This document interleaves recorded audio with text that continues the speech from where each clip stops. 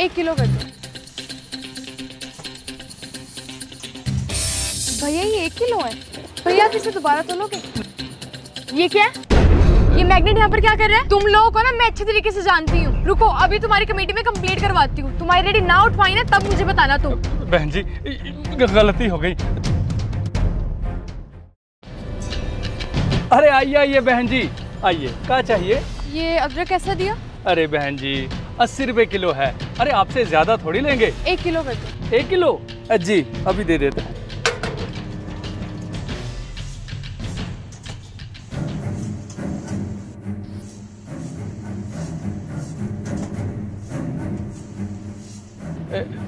लीजिए हो गया एक किलो। पैक कर दो। आपका एक किलो अदरक भैया ये एक किलो है। हाँ बहन जी आपके सामने तो तोला है हमने।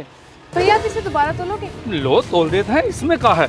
ए, ये देखिए पूरा एक किलो है। अरे बहन जी आपको कम थोड़ी देंगे।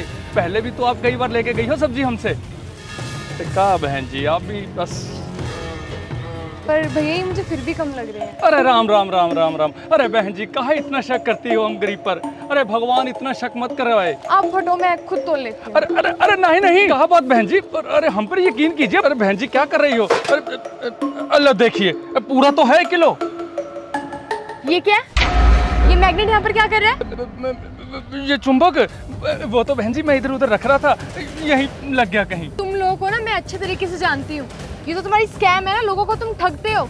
ये वीडियोस मैंने बहुत देखी हैं। अरे बहन जी अरे ये चुंबक से कहा वेट कम होगा? यही कहीं रखी होगी लग गई हो गई। अच्छा नहीं होता। ये कैसे हुआ?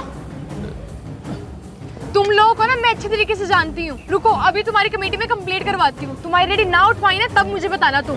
बहन जी गलती हो गई। दोबारा ऐसी गलती नहीं होगी। माफ़ कर दीजिए। माफ़ी माफ़ी तुझे मैं दूँगी। तुम्हारी गलती माफ़ी के लायक नहीं है।